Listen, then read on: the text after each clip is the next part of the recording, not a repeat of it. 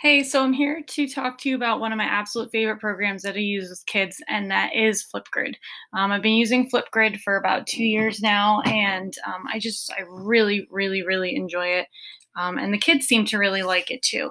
So I want to take you through how you can make an account um, and some just basics for how this looks. And then I'm going to make a video where you can share it with your students on how to use it. Most students know how to use it. They've used it in a lot of their classes, but just in case you have one that hasn't. Okay, if you've never used this before, then you're going to go to flipgrid.com. Make sure you go to slash educator. Um, if you need to create an account, you're going to create one. I suggest doing a Google login, especially if you're going through your school district's Google account. It makes it a lot easier it just connects everything a lot more smoothly. So um, we're going to log right in here. You can see mine is already connected, and then every time I come to log in, I just hit that. Um, okay, so you can see that this is my board from last year that I have archived, and this is my grid this year.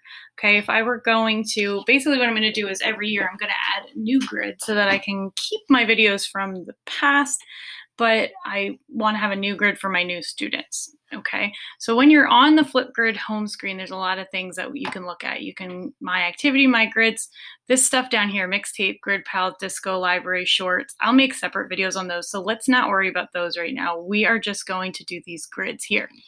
Um, there's a getting started guide, which I really, really love, and I'm going to um, try to maybe do a video where I go through some of that as well, but you can just open that and read it. Um, they have a lot of really great resources to follow them on social media because they're amazing. Um, so basically what you would do, you're going to imagine that I don't have these here. We're going to add a new grid because this is where all your students are going to post their videos. So you have to have some type of grid. Okay, so you're going to give your grid a name. I'm going to call this fake, grid. Nope, I'm to call it um, I don't know, Harry Potter. Look at oh, look what my computer does. It's so silly. Potter is awesome because we're going to make a bunch of videos about how Harry Potter is awesome. Um, and then there's a couple of ways that you can make this, um, with, like depending on how you want to make it. Okay, so school email, um, students join using their Google accounts. Student ID, this is when you have to create a list of IDs and you enter them. Okay, and then you can also make them public. So for um, like elementary school, I would suggest doing the student ID thing. You have to just make a list of your um, however many kids you have and you add them in and then they're automatically there. For middle school and high school, I suggest using the school email because it's going to be a lot easier for you to understand. So I'm going to take you through school email first, and then if we have time, we'll go back and we'll go through the student ID thing. Okay, so I'm going to click school email here. And then I don't like the code that they just make. I don't think it's any fun. So I'm just going to call this one Harry Potter um, awesomeness. It's too long. I'll just say Harry Potter awesome. Okay, so I'm gonna hit next.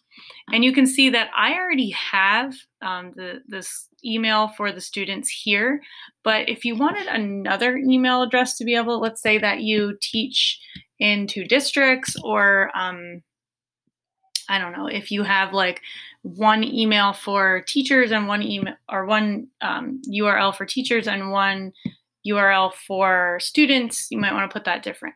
But for my purposes, I just put nazarethaSD.org um, or um, Nazareth ASD students, you know, that kind of stuff. So it's there. Okay, and that's all set up. So now I have my grid ready. Yay, okay.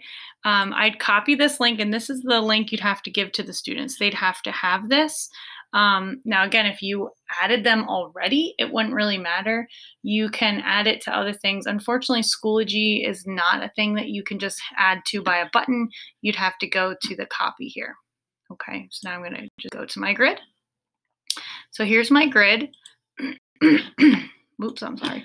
Here's my grid, and um, I'm actually going to delete this because there is like a, a topic that they start you with, but I just I, I, like to make my own topics. Okay, so now we're on our grid, and you can do a lot with this grid. Um, I'm going to go back and show you my grid then so that you can see what it looks like when it's set up. Okay, so you can do a lot of things here. Um, adding co-pilots would be like if you co-teach with someone, you can add them. Um, and just keep in mind that I I just have five sections of the same class, so I make this one grid for all of them. Okay. Um, so let's go back out to my grids here for a minute, and I am going to delete this because, oops, again, keep clicking on the wrong things here. Sorry. I am going to delete this grid because I don't want it. So I'm going to go to my grid for this year.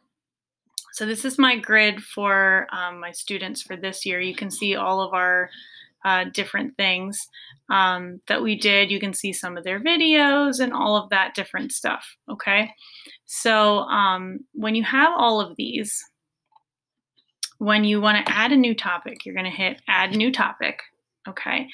And you just fill this out. So let's say that this topic was about, um, uh, let's see, maybe they're going to make a video telling me about biomes.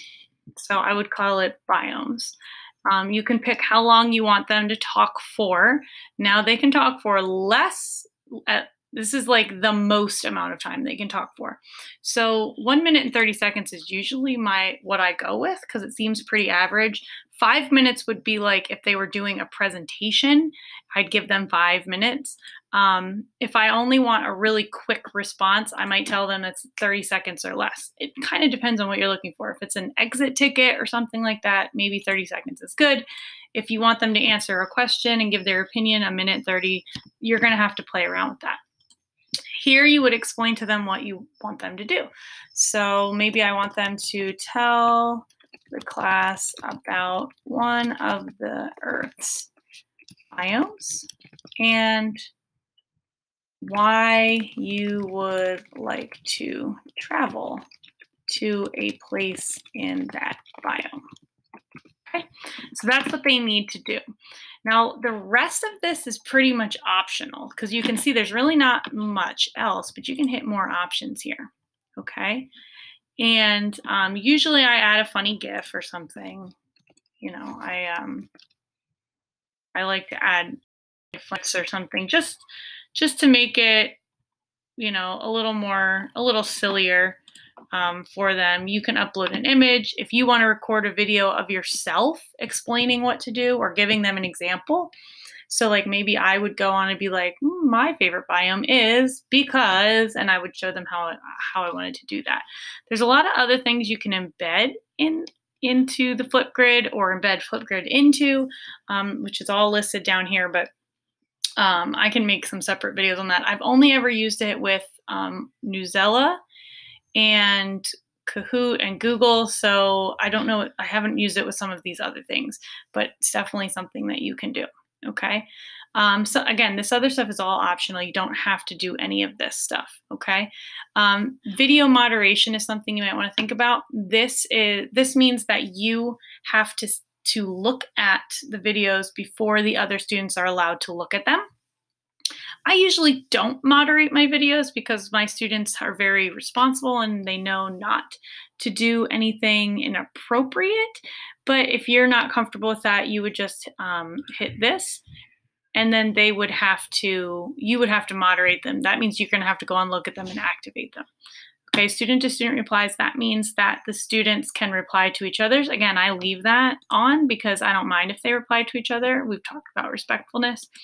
This is a couple of different things. So active means it'll be active now. Um, they will be able to see it. They will be able to reply to it. Frozen means they'll be able to see it, but they cannot um, active uh, put anything in there. It's view only. And hidden means they can't see it at all. Usually, I make things hidden until I'm ready to activate them, and then you can change the dates here. I I usually just leave it at never, and then I freeze them when I don't want any more videos. Okay. Um, all this stuff down here, video editing, sticking, I, I don't usually mess around with any of this. I let them do selfies and videos and I, they, they have fun with that. The idea is to get them to enjoy it. So I'm going to go ahead and create this topic. And then you'll see you get this um, code right here. So you can do a couple things. You can copy this and put it on Schoology, or you can um, download the QR code. Kind of depends on what you're doing with it. Sometimes if I'm doing QR codes like around the school or something, um, or like a scavenger hunt, I'll use this. If I'm just posting it on Schoology, I just use the, the link there. Okay. Um, and obviously you can see there's nothing in here yet. Um, if you decide, okay, I don't really want this topic, you would just, you delete the topic. Okay. And you say, yes, you want to permanently delete it. And then you delete it. Okay. When you have a video that you can actually see, um, you can see this is my one of my videos that they can go into. You can see I've gotten a couple of responses here. They're all active.